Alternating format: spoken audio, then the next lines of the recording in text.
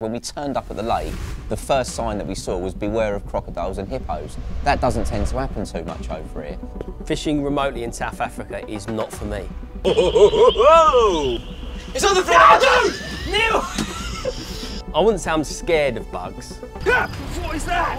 Everything out there wants to kill you. Listening to how scared Dovey was every single night going to bed, Oh, oh, I don't like it. that will stay with me forever. The fishing is unbelievable though. Mouth is about that The carp in South Africa were absolutely incredible. They are a nightmare when you hook them. Calm down. The fish in there are long, lean fighting machines. I think that's a big fish. Neither of us were ready for what ended up in the bottom of the net. Are you joking? That is a massive African common meal. It's a scary old do.